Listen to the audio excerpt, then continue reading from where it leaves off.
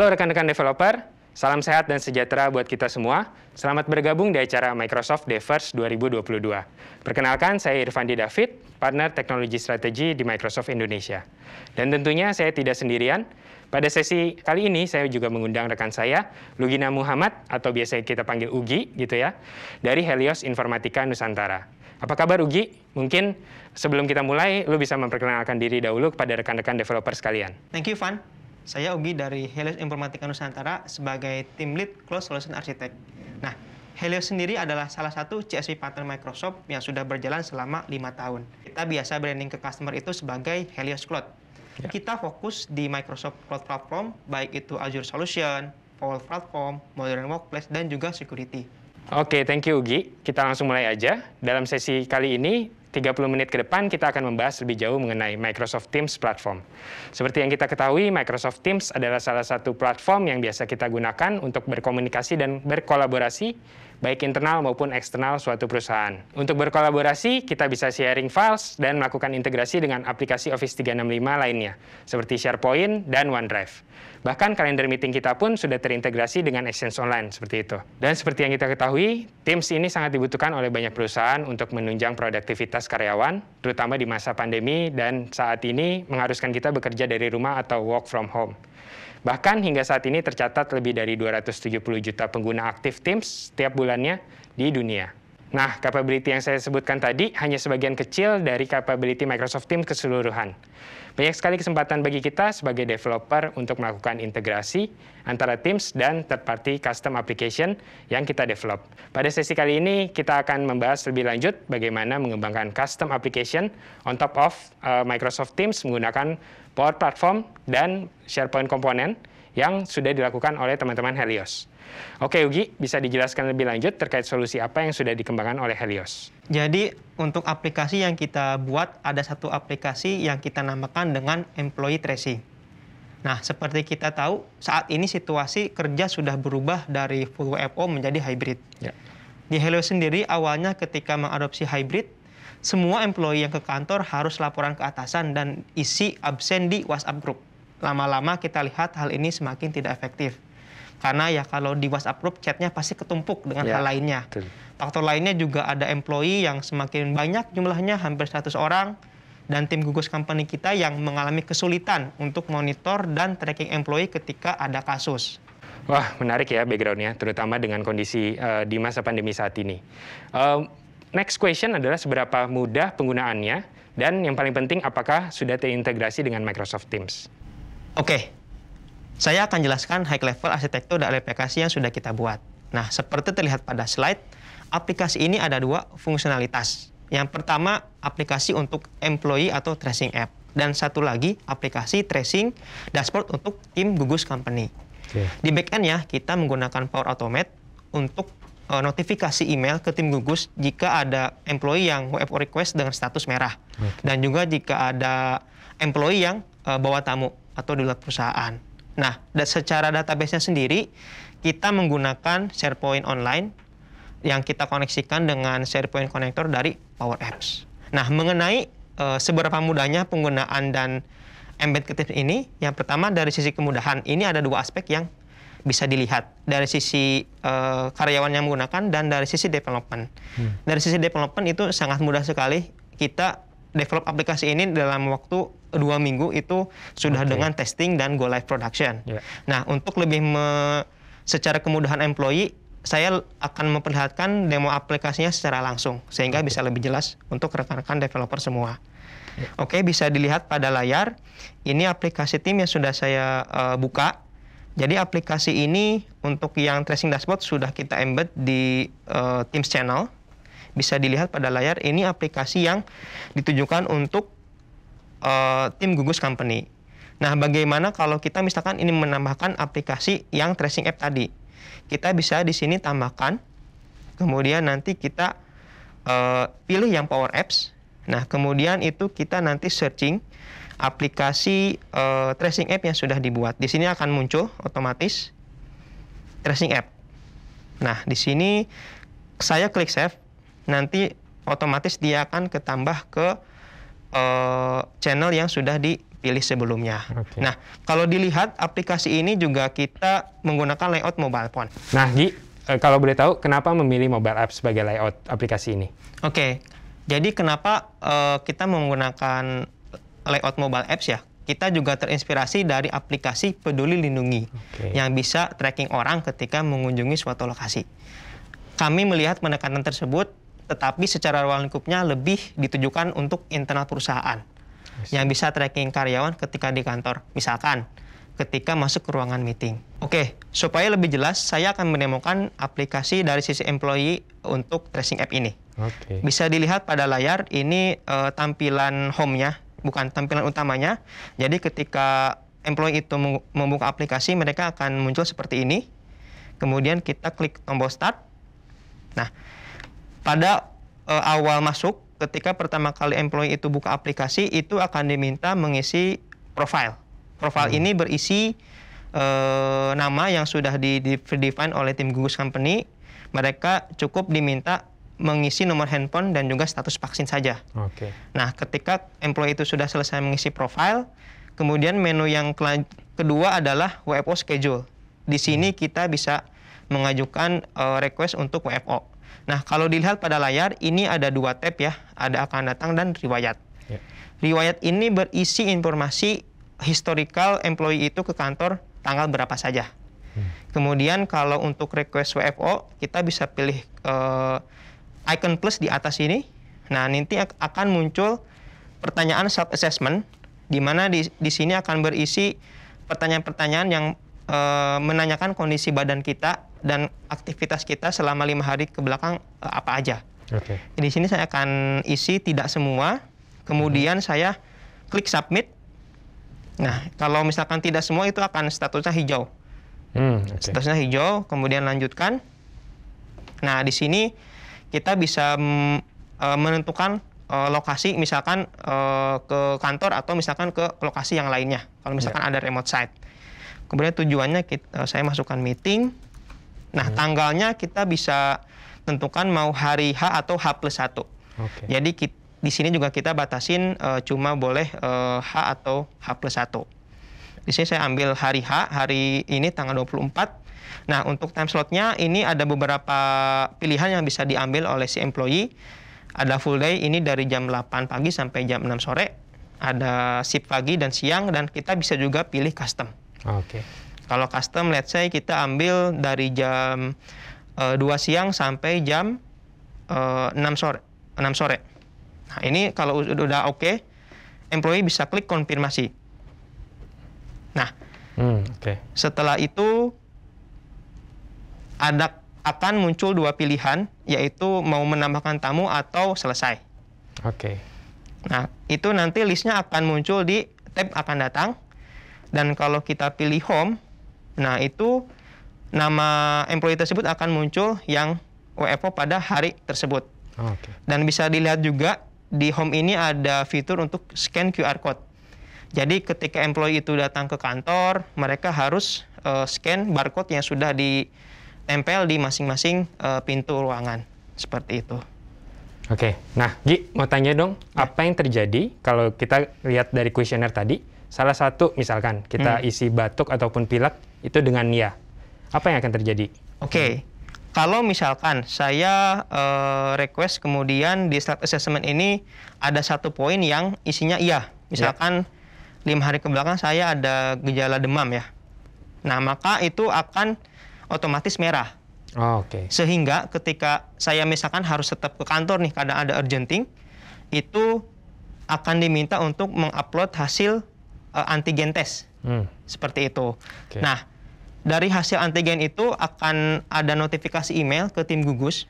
Tim gugus ini ber- bertugas untuk memeriksa request tersebut dan melihat eh, apa hasil antigennya dan dia nanti yang akan approve atau reject request tersebut. oh, oke. Berarti di belakang ada eh, flow yang akan berjalan gitu ya? Betul, ada flow yang berjalan untuk proses approvalnya juga. Oke. Next question mungkin kalau slotnya tadi, mungkin dari sisi slot kantor yang dipilih sama karyawannya tersebut penuh, itu apa yang akan terjadi, Gi? Oke, kalau misalkan sekarang case-nya kita bicara slot kantor penuh, maka employee yang request eh, WFO itu tidak bisa melanjutkan uh, konfirmasinya. Okay. Jadi akan muncul uh, warning juga di bagian sini bahwa uh, status ruangan sudah penuh dan tombol konfirmasinya akan uh, terdisable sehingga mereka tidak bisa WFO request. Ya Gi, kita bisa lanjutkan dengan report apa yang dihasilkan dari aplikasi tersebut. Selanjutnya saya akan demokan untuk aplikasi tracing dashboard tim gugus tugas. Di sini juga sudah saya tambahkan tracing dashboard. Nah, tracing dashboard ini hanya bisa diakses oleh uh, employee yang memang didelegasikan sebagai tim gugus company. Di sini akan muncul pertama tampilan login. Di sini saya coba login dulu. Jadi ini uh, secara database uh, dia akan mengambil ke SharePoint. Nah, setelah login berhasil, ini adalah tampilan utama dari uh, tracing dashboard gugus okay. tugas. Jadi di sini kita juga bisa lihat lokasi ya. Yeah. Contohnya ini sekarang Helios Office. Nah, nanti di bawah ini akan kelihatan list employee uh, yang datang ke kantor pada uh, hari yang kita bisa filter juga. Misalkan hmm. pada hari ini terlihat bahwa ada tiga orang yang ke kantor dan kelihatan juga nih jam check-in dan check-outnya. Okay. Dan juga bisa monitor juga status uh, ruangannya apakah sudah full atau masih ada yang tersedia. Kemudian kalau ya. misalkan yeah. tim gugus ingin lihat jadwal orang yang datang per slotnya juga bisa terlihat di sini dan juga kita bisa lihat uh, tren hmm. uh, jumlah karyawan yang datang ke kantor pada rentang waktu tertentu. Seperti itu. Oke. Okay. Nah, menu lainnya bukan hanya itu saja. Di sini juga ada menu untuk member monitoring. Member monitoring ini berfungsi misalkan ada suspek kasus di kantor. Nah, itu kita bisa lihat di sini. Karyawan status merah itu akan muncul di sini dan kita bisa lihat dia datang ke kantor tanggal berapa saja. Dan di sini kita bisa lihat lebih detail. Yeah. Nah, di sini akan terlihat detailnya bahwa uh, suspek ini ketika di kantor dia ada siapa saja yang uh, bersamaan. Hmm, Oke. Okay. Bersamaan. Jadi di sini dari tim gugus bisa melakukan uh, tracing dengan lebih tracing. mudah ketika ada suspek. Kemudian menu selanjutnya adalah uh, informasi member. Jadi di sini untuk member manajemen berfungsi ketika misalkan ada employee yang baru ataupun misalkan yang resign dari tim gugus bisa melakukan penambahan atau mengedit informasi karyawan tersebut. Ya. Seperti itu.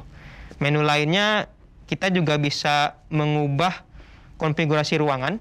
Jadi kalau misalkan ada uh, penambahan atau uh, pengurangan informasi ruangan, begitu pula dengan kapasitas maksimum kita bisa sesuaikan di sini okay. sesuai dengan peraturan pemerintah.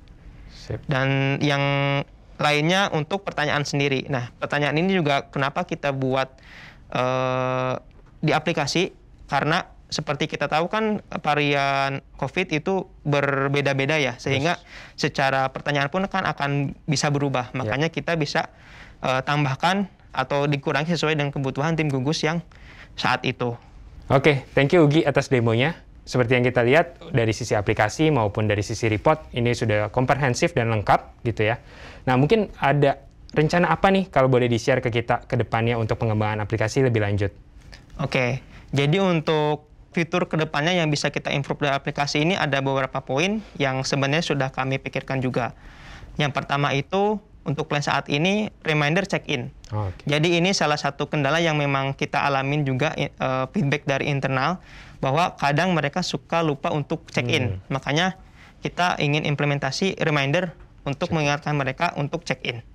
Yang kedua adalah push notifikasi dari aplikasi ke uh, member yang berada di kantor dengan suspek. Jadi tim gugus tidak perlu email, tapi cukup klik satu button akan langsung blast email ke employee yang berada di kantor pada uh, hari dengan yang sama dengan suspek tersebut. Okay. Kemudian yang ketiga ini untuk loading page kita juga ingin bisa custom yang berisi loading itu informasi untuk uh, semacam sosialisasi misalkan kayak kenakan masker, jangan lupa untuk cuci tangan seperti oh, itu. Okay. Nah, mungkin teman-teman developer ingin mengetahui lebih lanjut terkait dengan apps template gitu ya.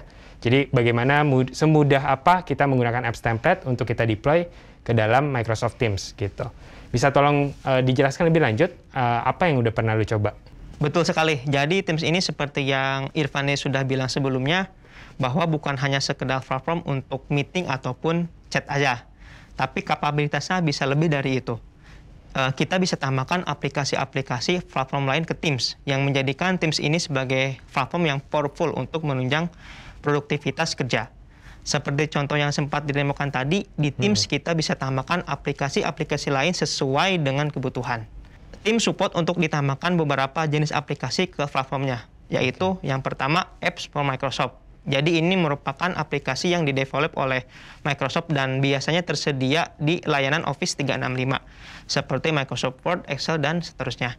Kemudian yang kedua apps from third party. Aplikasi ini didevelop oleh vendor-vendor di IT di luar Microsoft dan mereka provide aplikasi tersebut di Microsoft Teams Store.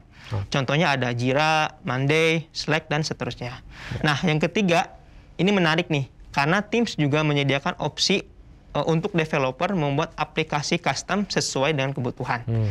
Aplikasi custom ini salah satunya yang aplikasi tracing app yang ya, kita demokan tadi ya di atas Power App. Nah, contoh lainnya adalah Teams App Template. Hmm. Nah, tips Teams App Template ini merupakan contoh aplikasi lengkap yang didevelop untuk di-embed ke Teams. Bersifat open source dan source code-nya tersedia di GitHub. Teams App Template ini merupakan contoh aplikasi lengkap yang didevelop untuk di-embed ke Teams. Bersifat open source dan source code-nya tersedia di GitHub. Sehingga perusahaan dapat menggunakan aplikasi ini free to use dan dapat dimodifikasi sesuai dengan kebutuhan. Okay. Nah, kalau teman-teman developer itu bisa search di dokumentasi Microsoft, ini ada app template for Microsoft Teams. Di sini saya coba ambil satu case, yaitu incident report. Nah, di sini ada satu link yang langsung redirect ke GitHub. Hmm. Jadi di, di GitHub di sini sudah sangat lengkap dijelaskan ya bahwa aplikasi ini uh, untuk apa. Okay. Kemudian di sini juga dijelaskan secara arsitekturnya yeah. dan juga ada step-step supaya kita bisa uh, deploy ke environment company seperti itu. Nah, untuk lebih detail saya coba perlihatkan secara singkat seperti apa cara deployment untuk aplikasi yang incident report ini. Ya. Jadi kalau dilihat pada slide ini pertama kita bisa uh, copy dulu ya source code dari GitHub-nya. Ini sudah saya kopikan. Kemudian nanti datanya itu akan ada di uh, kita buka pakai Visual Studio Code. Nah, di Visual Studio Code ini ada satu file yang berisi manifest.json, hmm. di mana kita di sini cukup edit beberapa poin ya, seperti yang sudah dijelaskan di dokumentasi. Yeah. Di sini ada yang kita edit itu dari sisi nama developer. Nah, ini kita bisa custom sesuai dengan kebutuhan. Okay. Kemudian di sini ada apa namanya uh, bot ID atau application ID. Di sini uh, dia ada integrasi dengan Azure Active Directory. Kemudian juga uh, aplikasi ini juga menggunakan Azure App Service untuk hmm. web application-nya. Okay. Nah, setelah kita edit sesuai dengan konfigurasi sebelumnya, maka kita nanti akan uh, buat uh, file zip dari file manifest.json tadi. Jadi kalau dilihat di sini ada folder manifest end user dan satu lagi manifest uh, SMI. Nah, ini masing-masing sudah saya buat dalam bentuk file GIF. Seperti itu. Nah, setelah kita selesai membuat apa namanya file GIF-nya, maka GIF ini bisa kita upload melalui Teams admin dashboard. Seperti apa cara uploadnya? Di sini Nah, di sini saya coba masuk ke Teams dashboard. Oke, di sini saya sudah login sebagai Teams admin. Nah, di sini ada menu Teams Apps. Oke. Kemudian kita pilih Manage Apps. Nanti akan muncul eh, list aplikasi apa saja yang sudah di deploy, deploy di company dan kita bisa tambahkan juga aplikasi tadi. Oke, di sini saya akan tambahkan. Nah, kemudian tadi saya masuk ke folder yang sudah di copy sebelumnya, manifest. Untuk end user kebetulan saya sudah tambahkan, jadi di sini saya tambahkan yang SMI atau yang exportnya. Oke. Okay. Nah ini kita pilih open, kemudian nanti dia uh, secara otomatis akan mengupload aplikasi tersebut ke uh, Teams App Store. Oke. Okay. Dan kalau kita lihat, Semudah itu ya, Gi? Ya? Betul, semudah itu untuk kita deploy aplikasi di Teams menggunakan apps template. Ya. Sudah muncul di sini ada incident reporter dan incident reporter untuk tim supportnya. Jadi kalau kita lihat di sini juga sekarang di bagian klien, mm -hmm. nah ini sudah ada uh, kalau kita cek masukin ke App Store. Oke, ini saya coba searching incident report. Nah, ini sih sudah muncul ya di okay. bagian home-nya. Ini saya coba tambahkan. Ya. Add. Nanti dia akan otomatis tertambah di tab sebelah kiri. Hmm. Oke, okay. dan kita bisa gunakan untuk keperluan cache management. Oke. Okay. Seperti itu. Nah, satu lagi terakhir yang menarik dari tim development ini yaitu App Studio. Hmm. Jadi kalau misalkan rekan-rekan developer nih ingin bikin dari scratch ya aplikasi apa namanya Teams-nya yeah. itu bisa dibantu dengan App Studio ini. Yeah. Ini ada fitur untuk kita apa namanya untuk validasi misalkan me, untuk menentukan apakah si uh, JSON kita itu valid atau enggak untuk kita upload ke Microsoft Teams. Terima kasih teman-teman developer semua. Semoga materi yang disampaikan dapat memberikan insight buat kita. Nah, sebelum saya kembalikan ke Rifandi, di sini juga saya ingin menyampaikan bahwa dari tim Helios Cloud kita istilahnya ada beberapa capability yang bisa disampaikan juga nih selain untuk uh, development uh, Teams app ataupun Power Platform. Kita juga ada solusi untuk uh, hmm. workflow automation, application modernization, DevOps and microservices, application rehosting dan data visualization. Kalau misalkan teman-teman developer uh, ingin tahu lebih lanjut bisa uh, hubungi kontak yang sudah ada di slide. Terima kasih atas waktu dan support yang diberikan, Gi gitu ya. Semoga sesi kali ini bermanfaat bagi rekan-rekan developer sekalian untuk dapat memberikan pengetahuan dan ide yang lebih banyak lagi terkait dengan Microsoft Teams Platform. Dan akhir kata, saya mengundang rekan-rekan developer untuk dapat mengembangkan aplikasi menggunakan Microsoft Teams Developer Platform bersama kita berdayakan Indonesia. Sampai jumpa di lain kesempatan. Bye-bye. Bye-bye.